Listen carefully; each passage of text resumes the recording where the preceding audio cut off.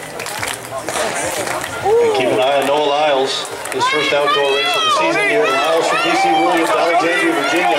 10.07 windy last year, 10.14 legal, and an easy win.